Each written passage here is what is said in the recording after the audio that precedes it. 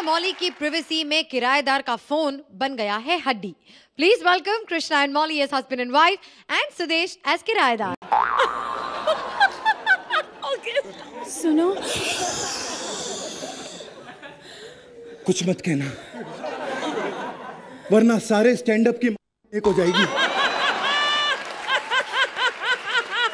निकल यहाँ से। मेरे स्टैंड अप के बाद ही तुम लोगों का क्रियाक्रम चालू होगा। अरे नहीं आना होगा तो मत आना। और आना होगा तो भी मत आना। जा रही हूँ जा रही हूँ। पर जब तक आप स्टैंड अप करते हो तब तक मैं आपके लिए गरम गरम चाय लेकर आती हूँ। चाय बनाएगी तू मेरे लिए? मिट्टी का तेल यूज़ मत करना। बहुत महँगा हो गया समझी? चाय को सामने रखना। अपने मुँह से दो चार गाने सुना देना। वैसे ही खोल जाएगी वो। इतना इतना गंदा गाती है? अरे तू थोड़ी बहुत ठीक लगती है समझी? वरना सोहेल भाई चार पाँच चप्पल निकाल के खींच के मारते तेरे को। नहीं नहीं नहीं नहीं। उस दिन तो अर्चना जी कह रही थी कि तुम बड़ा अच्छा गाती हो। बड़ा अच्छा गाती हो। पता है क्यों? क्योंकि उनके पास चप्पलें नहीं होती। जा रही हूँ जा रही हूँ। पत्ती से कैसे बात करती हाँ। पता ही नहीं आजकल। लाइनें बोल रही है वहाँ पे। अर्चना जी हाँ। अगर आज के एक्ट में आपको कुछ भी पुराना लगे हाँ। तो बुरा मत मानना। क्योंकि रेट्रो है ना। रेट्रो अच्छा। और वैसे भी आपको कोई हक नहीं बोलने का आप कौन सी फ्रेश है? अरे नया क्या इस शो के अंदर? ये मौली ला कर दी हमको। बाद में पता चला ये भी अड़तीस की है।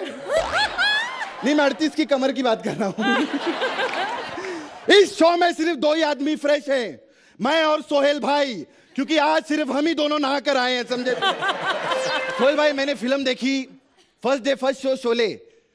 पापा को बोलना बहुत अच्छी लगी मुझे, बसंती। लेकिन प्रॉब्लम है टिकट बहुत महँगा हो गया है यार। चार रुपए का स्टॉल आठ रुपए की बैल्कनी मैंने स्टॉल की टिकट ले ली। लंबी बीवी है ना, उसके कंधे पर चढ़कर बैल्कनी का मज़ा लिया मैं। इतना मज़ा लिया, इतनी ऊंचाई पर पहुँच गया था सर मैं, कि जब रामगढ़ का सीन आया ना तो पहाड़ के पीछे गब्बर के अड्डे पर क्या चल रहा है, मैंने सब कुछ झाँक कर बता दिया गाँव वाले खैर, महँगाई इतनी होगी, मैंने सोचा यार ये किराएदार एक रखूँ बढ़ोतरी। घर चले मेरा। और अर्चना जी पूरे मोहल्ले में देखो सिर्फ़ मेरे घर पे टेलीफोन है। वाह वाह खैर मेरी बीवी कहाँ चली गई? यार चाय बनाने के लिए गई थी। पनवती सॉरी पार्वती? जी वो मैं चाय तो बनाने गई थी पर फिर ना थोड़ा सा मूड बन गया। तो आपके लिए गरम गरम दूध लाई हूँ। दूध?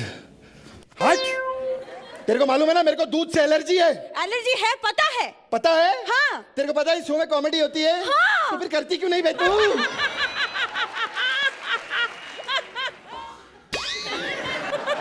चल भाई डायलॉग तो ढंग से बोलती नहीं तीन चार एपिसोड है मज़े तो ले लो।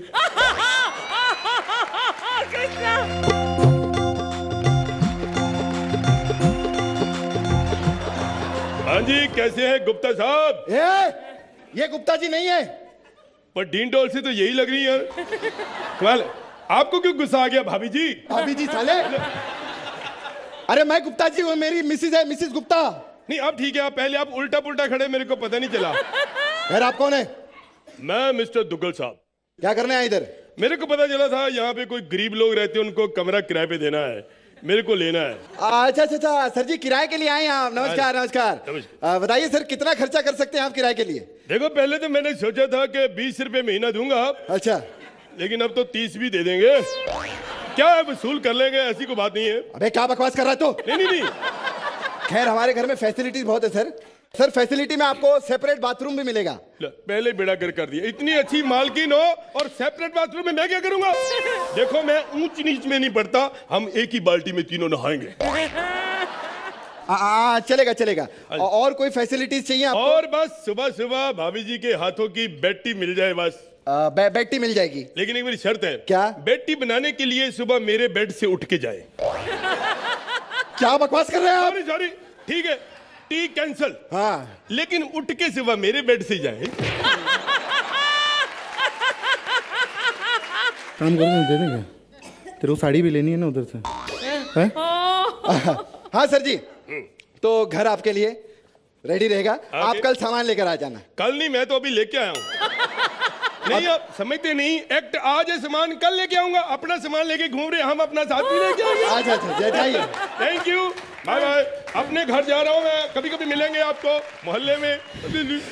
चलो किराएदार तो मिल गया। खैर। हेलो? हेलो? हाँ जी। दुग्गल साहब वाह वाह मज़ा आ गया। मैंने सुना यहाँ किराए पे कमरा लिया फुलझड़ी रहती सुंदर सी वहाँ। साले मैं उसी फुलझड़ी का अनार। मेरा मतलब अब उसका पति हूँ मैं। सॉरी सॉरी सॉरी बहन जी को फुलझड़ी जी को नमस्ते कहना। जरा दुग्गल साहब को बुला देंगे। अबे रात के दो बजे रात के दो बजे कोई फ़ोन करता है क्या? दुग्गल साहब को बुला। हट। ओए ओए ओए फ़ोन उठा फ़ोन उठा। कमीना ये क्या मतलब वो फ़ोन रख दिया? फ़ोन उठा। बात करनी है। फ़ोन उठा। हेलो? हेलो? हाँ। दुग्गल साहब को बुला दो जरा। अबे इतनी रात को क्या काम है यार तुम कौन से अरे ज़रूरी काम है। क्या ज़रूरी काम है? उनको हाय हेलो बोलनी। साले हाँ हेलो सुबह बोलना तू। अरे सुबह अपने काम ज़रूरी करेंगे कि फजूल की हाय हेलो बोलेंगे? अच्छा आप दो मिनट में फ़ोन करिए यार मैं बुलाता हूँ दुग्गल साहब को। ओके। दो मिनट की बात है टेंशन मत लेना ठीक? दुग्गल साहब! दुग्गल साहब! हाँ दुग्गल साहब फ़ोन है। तुम रख लो। मेरी माँ का साले है। रख लो नहीं कॉल आई है कॉल कैसे कौन? किसने किया? मूछों वाला क्लीन शेव है कौन है वो? अबे फ़ोन पे आदमी दिखता थोड़ी है यार तुम क्या बकवास कर रहे हो? नहीं दिखता एक मिनट बताता हूँ तेरे को। डार्लिंग इज़ कमिंग कैसा मालिक रखा मैंने? एक मिनट हेलो हाँ दिख रहा हो कि नहीं? फ़ोन पे बात करता दिख रहा हो कि नहीं? पागल कैसा बंदा रखा अरे पता नहीं किसी चिरकुटे का फ़ोन आया था बोला दो मिनट में फ़ोन करूँगा गाँव से फ़ोन था आपका। वेट कर लेते हैं हम भागे थोड़ी जा रहे सुनो तमीज से बात करो तुम्हें अक्ल चाहिए कैसे बात करनी ये क्या कर रहा है तू? बाजू बैठो। बाजू बैठा उसको बोलो बाजू सही रखो नंगे बाजू रख के बैठ जाती है। मेरा क्या सबका दिल करता है? अबे ओए हाँ। रात को दो बजे किसका फ़ोन आया? तुमको ये नहीं पता किसका फ़ोन आया? एक मिनट। हाँ। मेरे पास डायरी है पच्चीस तीस नंबर लिखे हैं रिश्तेदारों के किसी का ज़रूर होगा देखता हूँ। हेलो राम प्रकाश कैसा है? बढ़िया। तूने फ़ोन किया था इधर? नहीं? तो कर लिया कर यार। नहीं नहीं प्रॉब्लम क्या है? नो नो नो यार ना। तू पागल है? बात कर रहा हूँ उसको बेचारी को तंग कर रहे हेलो नहीं किया चलो देखता हूँ। तो पता नहीं किसने किया। हेलो हाँ जी, सिंह साहब देहरादून वाले। हाँ जी, कैसे हो? अच्छा बिटिया हुई है। हँसते हँसते पैदा हुई है। वाह वाह, ये देखना, कॉमेडी सर्कस बनेगा, कुछ सालों बाद हिट हो जाएगी जज हाँ जी हाँ जी। नहीं नहीं, कोई नहीं।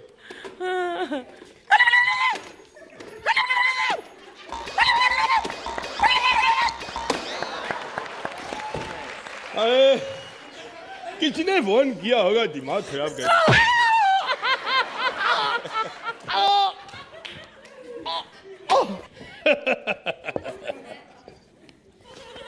वेरी गुड डार्लिंग ये हुई ना बात?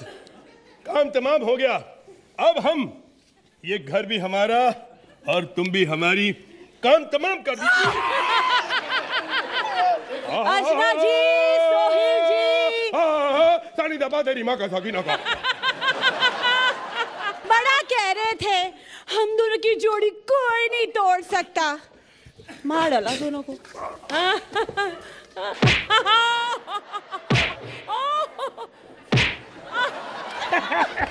हमारी जोड़ी कोई नहीं तोड़ सकता।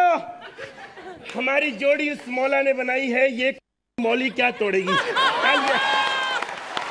Please welcome Abhijit as husband, Shimona as wife, and Kapil as Haddi. हमारे गाँव में सब कहते हैं जब तक उनकी अस्थियाँ ना बहा दो तब तक वो आदमी ज़िंदा रहता है। ट्रेन अभी तक नहीं आई। मुझे एक ट्रेन की समझ नहीं आती। हम लोग थोड़ा सा लेट हो जाए हमारे लिए कभी नहीं रुकती। अब मैं आ गया हूँ अभी तक नहीं आई। अब मैं निकल जाऊँ तो? ओह माय गॉड ये ये लगा मेरा रिजर्वेशन चार्ट चिंटू एंड स्वर्गीय रतन लाल यस दोनों सीटें कंफर्म ये पी ओह माय गॉड ट्रेन भी आ गई. अरे जल्दी चलो जल्दी चलो वो देखो ट्रेन प्लेटफॉर्म पर खड़ी है जल्दी चलो। ए हेलो ए तेरे को अकल नहीं है प्लेटफॉर्म पे कितनी भीड़ है? बच्ची को गोद में उठा. अबे वो मेरी बीवी है बच्ची नहीं है। अच्छा? हाँ। मैं भी कहूँ ये कैसा बच्चा साड़ी पहन के दौड़ता जा रहा है कुल्फी वाला मटके वाली कुल्फी जानू मुझे कुल्फी खानी है ए ये मटकी कुल्फी वाली नहीं है। मेरे ताऊ की अस्थि है। बड़ी तू तो कह रहा था मेरी बीवी बच्ची नहीं है ये तो बच्चों जैसी जिद कर रही है।